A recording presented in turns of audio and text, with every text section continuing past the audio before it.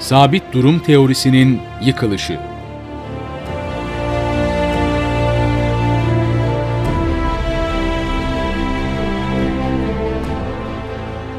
Big Bang teorisinden rahatsız olanların başında İngiliz astronom Sir Fred Hoyle geliyordu.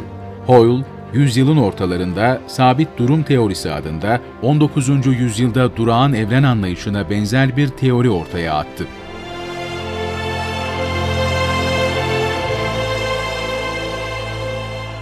Sabit durum teorisi, evrenin boyut ve zaman açısından sonsuz olduğunu iddia ediyordu. Gerçek amacı, materyalist felsefeyi ayakta tutmak olan bu teori, evrenin bir başlangıcı olduğunu ortaya koyan Big Bang teorisiyle taban tabana zıttı. Sabit durum teorisini savunanlar uzunca bir süre Big Bang'e karşı direndi. Ama bilim aleyhlerine işliyordu. 1948 yılında George Gamow, Big Bang'e bağlı olarak yeni bir iddia ortaya sürdü. Buna göre evrenin büyük patlamayla oluşması durumunda evrende bu patlamadan arta kalan bir radyasyonun olması gerekiyordu. Üstelik bu radyasyon evrenin her yanında eşit olmalıydı. Olması gereken bu kanıt çok geçmeden bulundu. 1965 yılında Arno Penzias ve Robert Wilson adlı iki araştırmacı bu dalgaları yaptıkları bir gözlem sırasında keşfetti. Kozmik fon radyasyonu adı verilen bu radyasyon, yerel kökenli değil, evrenin tümüne dağılmış bir radyasyondu. Böylece bu radyasyonun Big Bang'in ilk dönemlerinden kalma olduğu ortaya çıktı. Penzias ve Wilson bu bulgularından ötürü Nobel ödülü kazandılar.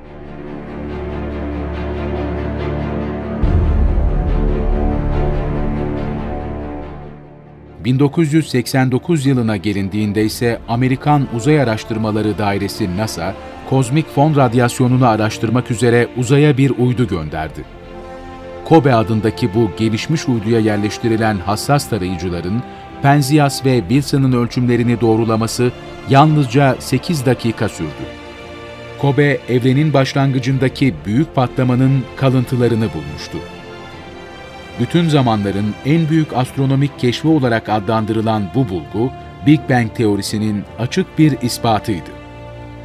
Big Bang'in diğer bir önemli delili ise uzaydaki hidrojen ve helyum gazlarının miktarı oldu.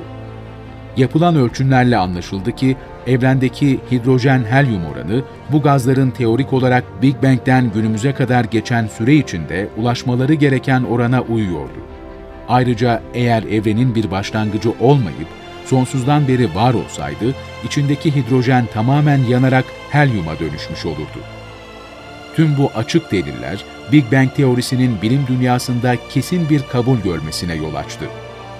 Big Bang modeli, bilimin, evrenin oluşumu ve başlangıcı hakkında ulaştığı son noktaydı.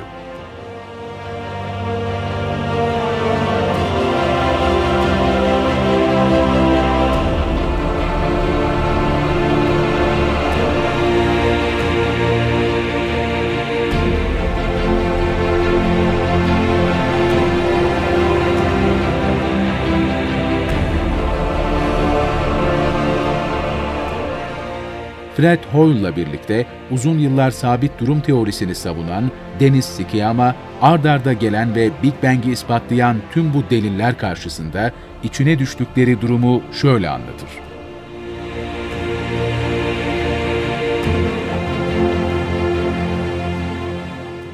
Gerçekliğine inandığım için değil, gerçek olmasını istediğim için sabit durum teorisini savunuyordum. Ama kanıtlar biriktikçe artık oyunun bittiği ve sabit durum teorisinin bir kenara bırakılması gerektiği gerçeği ortaya çıkıyordu. Kaliforniya Üniversitesi'nden Profesör George Abel da Big Bang'in kesin zaferini şu sözleriyle kabul eder.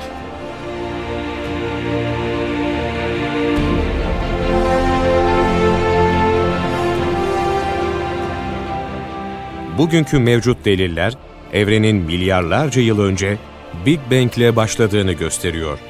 Big Bang teorisini kabul etmekten başka çaremiz yok.